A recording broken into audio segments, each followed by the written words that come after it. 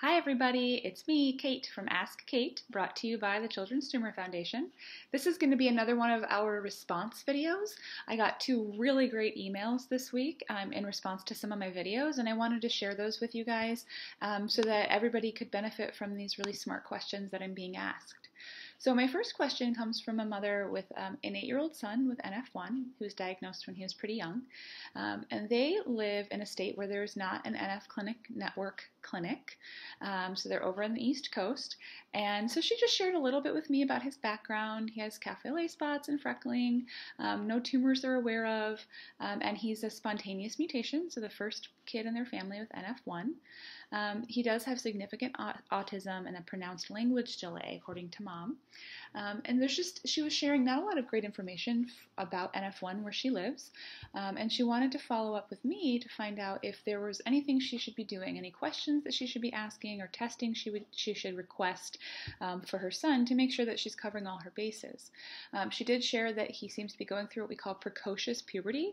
I don't know that we've talked about that in any of our videos, but essentially this just means that um, kids who start puberty earlier than we would expect them to, um, this can be a part of NF1 for very a lot of different reasons, um, and something that um, this child was referred to endocrinology, which is a specialist who looks at the way that hormones impact the body.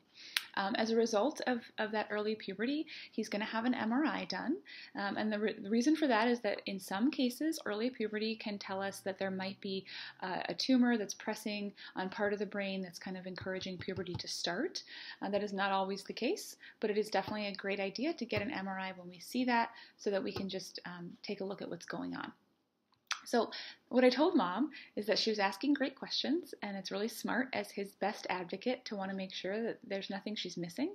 I agree that an MRI is an appropriate course of action, um, even given the what we've talked about with there being some risk to the idea of sedation, which he'll most likely need. Um, that the benefits of knowing um, what's going on and if there's anything to be concerned about would, in my opinion, outweigh some of those um, risks. Um, I also, she had asked me specifically about why he'd never had an eye exam, which is an interesting question.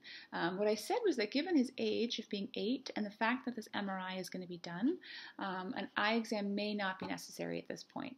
Now, I have to be careful in my line of work. I don't like to give medical advice. Generally, I like to give uh, general information, uh, be a good sounding board. So I would never tell a parent this is exactly what you should do or you should definitely not do this.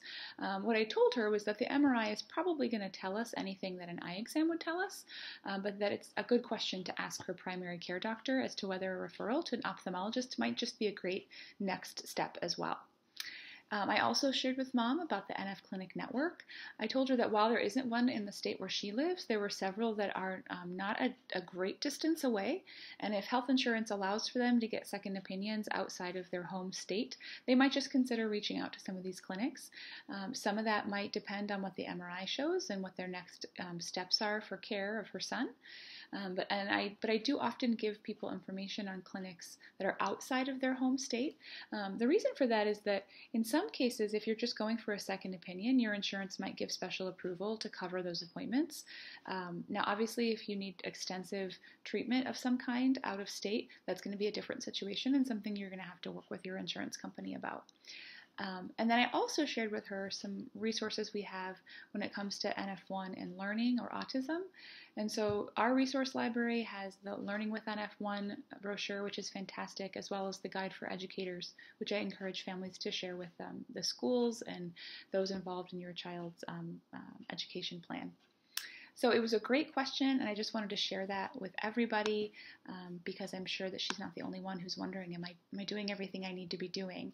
And I want to encourage you to ask me that exact kind of question because that's something that I can hopefully help respond to.